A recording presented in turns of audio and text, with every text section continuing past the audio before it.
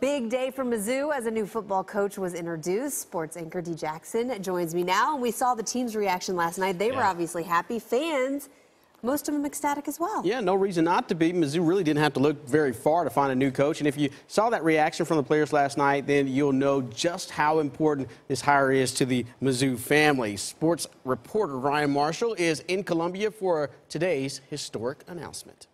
We're here in Columbia in front of the Missouri Athletic Complex. Today was a changing of the guard, and it was the first time that Barry Odom was introduced by the athletic department as the new Missouri football head coach. And all of the perks that come with that, including this pretty awesome parking spot that used to be Gary Pinkel's. But to whom much is given, much is required.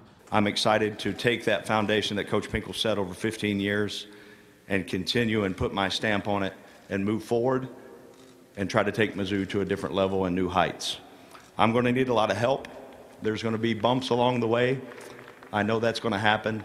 I embrace that. I didn't hire Barry Odom to, to you know, to be Coach Pinkel. Coach Pinkel was, was great and has been great for 15 years.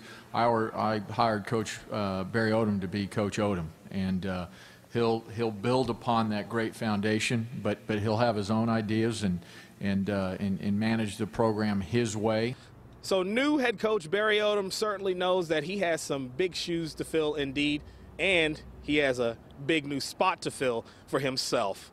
Reporting from Columbia, Missouri, I'm Ryan Marshall, 41 Action News. Back to you.